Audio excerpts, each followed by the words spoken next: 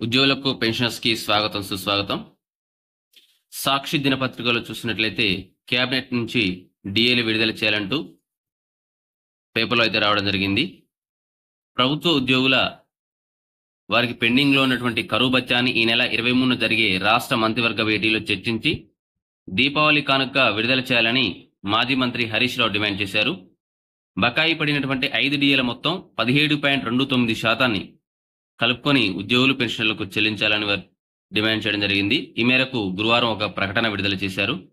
కేంద్ర ప్రభుత్వ ఉద్యోగులకు దీపావళి కనుక మూడు శాతం కరువు భత్యం ప్రకటించిన విషయాన్ని వారు గుర్తు చేయడం జరిగింది.